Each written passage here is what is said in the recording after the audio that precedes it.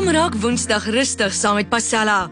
Ons kuier in Mpumalanga se Komatipoort waar die Garnaalfees eersdaags afskop. Stap deur die strate van die rustige Wes-Kaap dorpie McGregor vir stories oor geskiedenis en argitektuur. Kry planne om self twee rusbanke in 'n japtrap te maak. Kook kontreikos in Hermanus met plaaslike bestanddele en ontdek die rustiger kant van sanger Jackie Lou. Pasella Woensdag aand 08:30 SABC2.